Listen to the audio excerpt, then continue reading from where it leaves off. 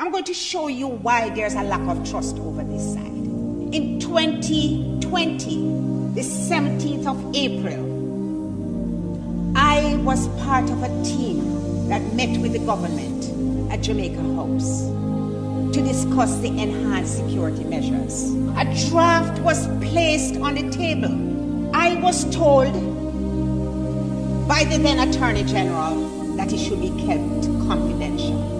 We had some issues with it. And I would have expected, Senator Campbell, that in the ordinary terms of negotiation, the government would have come back to us and said, no, we can't give up on this one. We're willing to give you something on this one to make it, you know, more in keeping with the Constitution. But this one we require to assist us with fighting crime.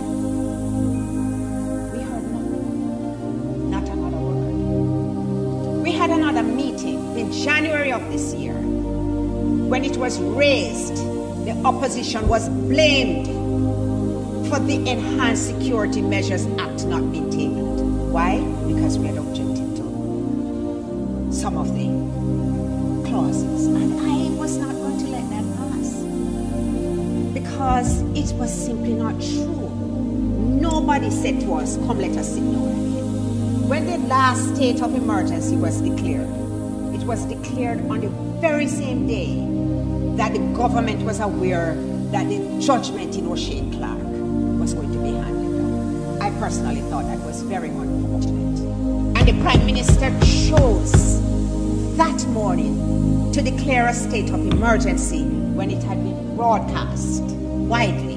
The leader of opposition wrote to the Attorney General, was um, now Derrick McKoy, made some recommendations. And I will tell you quite frankly, the government was very open. We sat for hours at Jamaica House talking about it, going back and forth. And in the morning, from about, I can't remember, it was about 8 o'clock, for many hours, we were on conference calls trying to work it through.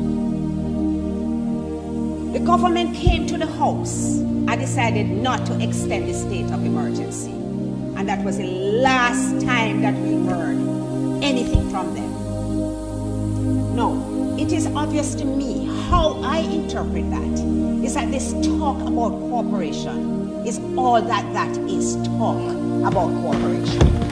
The government has a right to govern. It is the role of the government to govern.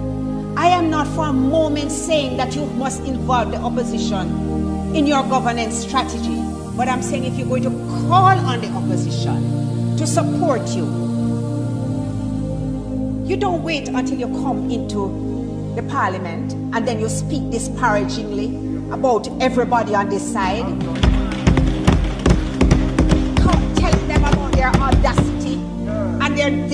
And they're that as though they are not human beings who feel when people are killed.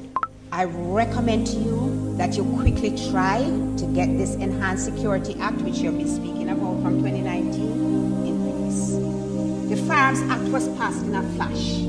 The Bail Act Joint Select Committee, the Joint Select, the Bail Act Joint Select Committee is sitting December 1st, December 6th, December 7th, December 8th.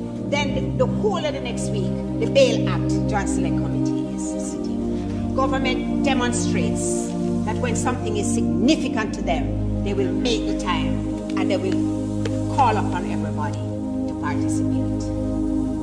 I assure you, if it is within my capacity, I will cooperate. Because the one thing that I think we truly how we feel about this country, Jamaica land. We have pledged our support and our willingness if our assistance is needed because it seems as though it is not.